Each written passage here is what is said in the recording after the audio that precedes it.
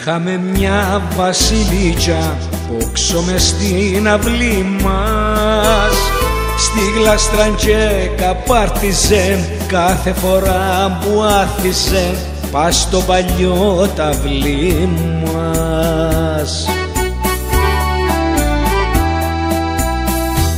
Η μάνα μας την έβαλε κι αμένα την μειώνει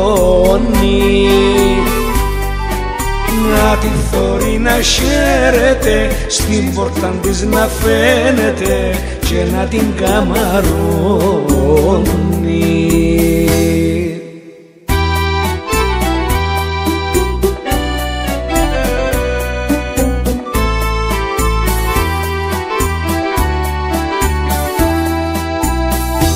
Εποτιζέν την τάχτικα δρόσο για να κεφώνει που τη δική της μυρωθιά κάθε αυκή με στην οθιά το σπίτι να γεμώνει.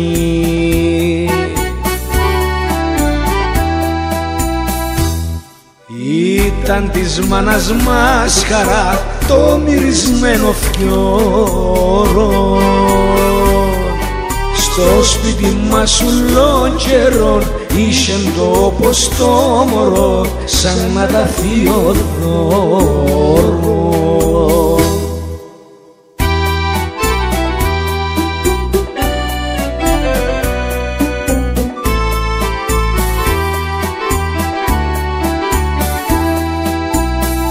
Μάρτε μια ώρα ξυπά τα μάτια της να κλείσει με τη σβησμένη της φωνή να μας γυρεύει και να αγκλώνει πρίχου να ξεψυχήσει.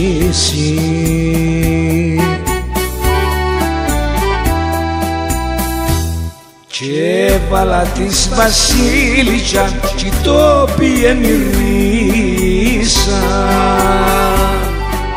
κι εύτης που γίνει τη στιγμή τα μαθιά μου δυο πόταμοι ήταν και ξύχηλίσα